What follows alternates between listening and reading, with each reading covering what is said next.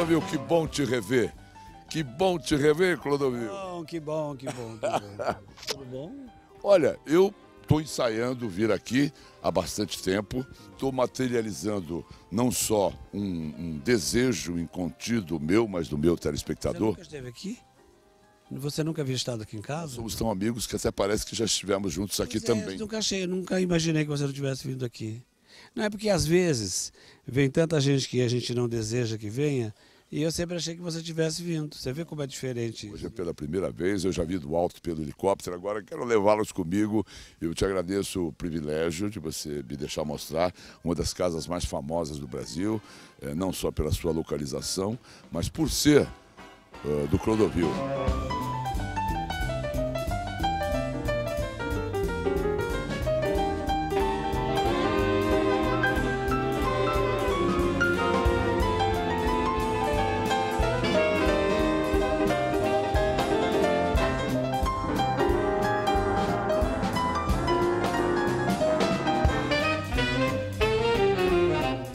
Coisa mais linda. Olha que coisa mais linda. Isto é o Brasil, não é? Isso são as belezas naturais do Brasil. Aqui eu morava com a mamãe. Quando a mamãe uh, morreu, eu desmanchei muita coisa, fui acrescentando outras com tantos problemas que eu tive aqui, mas eu queria tirar um pouco aquele ar de saudade, embora isso não não saudade dela, porque isso ela mora comigo, mas no visual existiam lugares que eu a vi por pela última vez e eu queria tirar esses lugares e mantê-la no meu coração. Então eu mudei para cima. Essa casa é a única benéfice que o Batuba vai ter. Ou seja, ela poderá vender ingressos para as pessoas conhecerem minha casa onde eu morei enquanto eu vivi neste mundo. Entendeu? Mas eu não vou deixar a administração para a cidade, porque infelizmente até hoje eu não encontrei uma administração aqui que merecesse crédito.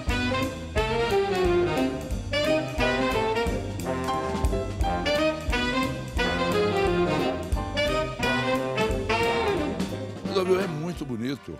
É, eu fico às vezes com medo de ficar grávido de adjetivos, mas aqui é o caso da gente ficar grávido de gêmeos de adjetivos, de tão bonito que é. Se você contar uma casa comum, eu acho que talvez seja fácil, né?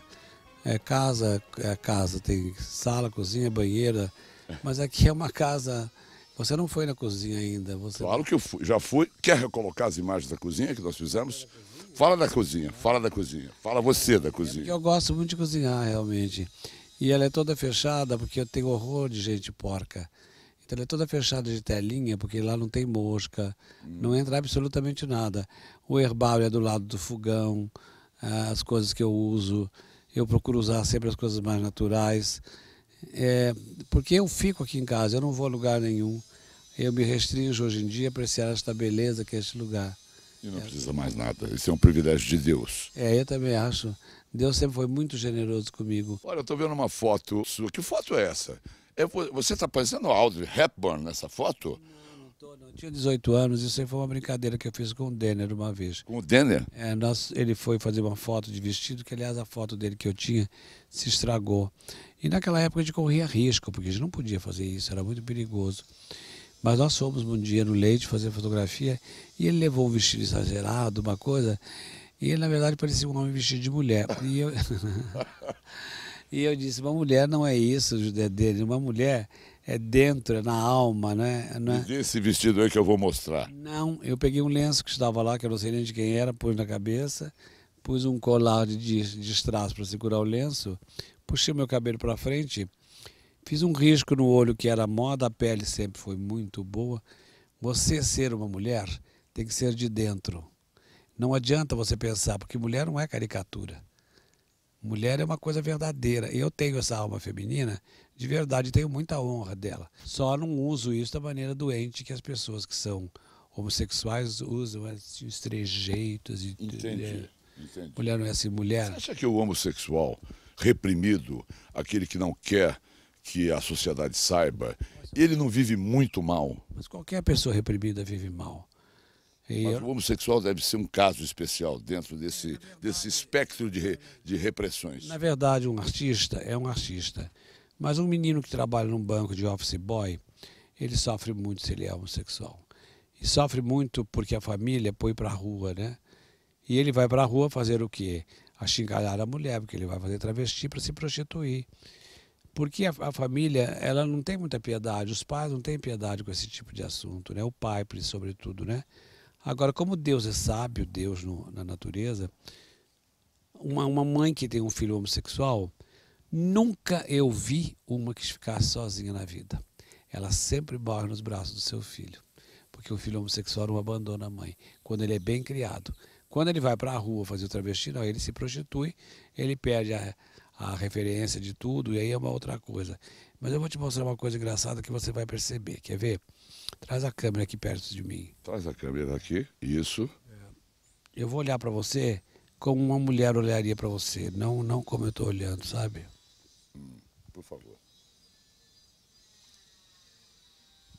Esta é a alma feminina através dos olhos. Claro, evidente. Uma mulher não é um deboche, uma mulher é uma coisa sagrada. Eu adoro as mulheres e sempre, sempre disse isso e vou dizer mil vezes. Porque a perpetuação do mundo é feita pelas mulheres, seres sagradíssimos, né? Você vê, e é uma coisa complicada, porque quando você liga um homem a uma mulher, você o liga pela vagina. Eu estou falando do casamento. A vagina é uma coisa que acaba ficando elástica, acaba tendo você acostuma com o cheiro, com as atitudes, com tudo, e o casamento vai por água abaixo porque é a rotina e você tem, teria que fazer dessa rotina um encantamento. Né? Mas se a mulher fizer encantamento para o marido, como ele é burro, ele vai pensar que ela está dando para outro. Como? Eu nunca te vi com esse lingerie. É. é Onde é que você aprendeu a passar a língua desse jeito? Eu nunca te ensinei. Que língua maluca é essa? É. Que de repente apareceu do nada. Então, mas por quê? Porque nós somos seres confusos mesmo. E eu adoro fazer televisão, mas televisão que eu gosto de fazer é assim. Podendo contar para as pessoas aquilo que fez bem para mim e que com certeza fará bem para as pessoas. Você não vai voltar para a televisão, Clodovil? Você não tem vontade de voltar para a televisão? E olha, eu na verdade, eu, eu teria até, eu acho, porque eu gosto muito de televisão porque tudo que eu sou eu devo à televisão, inclusive o não enlouquecer quando a mamãe morreu. Porque se, eu não estivesse na televisão naquela época, eu teria me suicidado. Olha a capelinha linda que o Clodovil construiu aqui na sua casa em Ubatuba, em homenagem à sua mãe. A capelinha é uma graça e uma uva. Eu fiz para ela mesmo. Ela... Olha que lindo. Olha que lindo que vocês estão vendo. Tem uma imagem dela lá dentro. E outro dia o meu porteiro, o, o Paulo, diz que viu a mamãe na porta. Eu não vou negar e nem afirmar porque eu não estava aqui. Mas como ele é uma pessoa das que eu mais gosto, um homem sério, maravilhoso, eu acredito que ele tenha visto, mas ele ficou com medo, ele correu. E por... Para você ela nunca apareceu? Não, ela não aparece, eu não, vou, eu não tenho esse dom, eu nunca terei esse dom, Mauri, por quê? Porque se ela aparecer para mim, eu quero ir embora imediatamente. E eu não posso. Eu tenho que cumprir um período. E tem muita coisa, muita coisa a fazer. Com certeza, deve ser isso, né? Mas eu tenho um único medo. Eu não tenho medo de nada, não tenho medo de ninguém, não tenho medo de nada, nada, nada, nada me mete medo. Porque para mim o medo é o demônio. O demônio não existe. Você aprende o medo quando você chora. E eu não tenho medo de ninguém, de homem nenhum, de nada, nada, nada, nada, não tenho. Só uma coisa eu tenho medo. E eu vou pedir uma energia positiva para muita gente que gosta de mim neste momento, uma energia assim de, de emanar uma coisa boa. Porque a única coisa que eu quero, que eu espero da vida agora é que eu me encontre com ela no astral. Porque pode ser que no astral, com o dia que eu me for, eu me perca por alguma razão e não a veja de novo. E eu tenho tanta saudade do cheiro dela, você não faz ideia. Esse é o seu medo? É o medo de não encontrá-la de novo, entendeu? É... Vou mudar a pergunta para o Clodovil não se emocionar. Que eu sei que quando ele fala da mãe, não é a primeira vez, ele se emociona. Clodovil, como é que funcionou o amor na tua vida ao longo desse tempo todo. O ato de amar, que é uma coisa tão especial para todos nós. Eu só amei uma pessoa. E. Era um companheiro seu? Não vou te dizer o que era nem o que era, não precisa você especificar. Eu amei uma pessoa, muito, sem saber.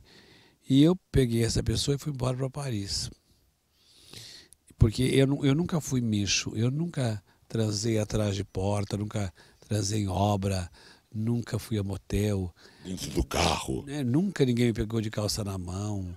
nunca, eu nunca sujei ninguém, fisicamente mesmo que eu estou dizendo, porque eu tenho cuidados com o meu físico, com aquilo que é importante para mim.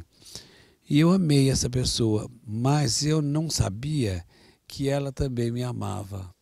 E agora ela surgiu de novo, me mandou um e-mail lindo no Natal e me disse uma coisa como eu nunca ouvi na vida. E eu já estou velho, tenho 71 anos de idade.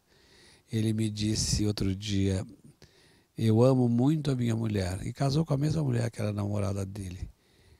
Eu amo muito a minha mulher, amo muito os meus filhos. Eu sou uma família. Ele está muito rico porque aprendeu comigo tudo. Mas eu tenho certeza que nenhum deles eu amo como eu amei você.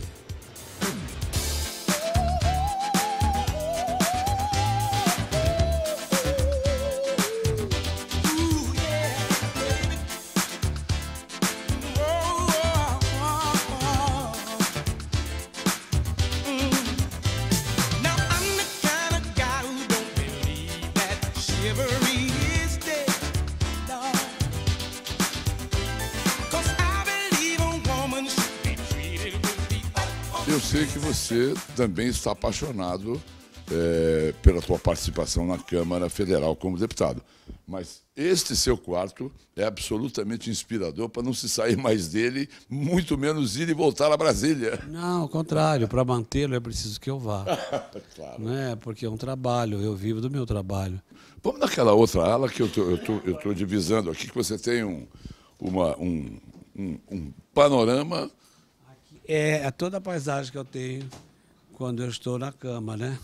Quer dizer, acorda-se com este visual. Eu não queria nada que me impedisse de ver o todo, né? Que não tem nenhum parapeito aqui, essa é a razão, para você é. que a sua liberdade seja absoluta. É, se por acaso eu sentir que eu vou bambeando com a idade ou com as sequelas das doenças, eu ponho aqui uma, uma, um, um parapeito de, de blindex. E acabou. E acabou. Clodovil Hernandes, especial, direto da sua casa paradisíaca, em Ubatuba, São Paulo.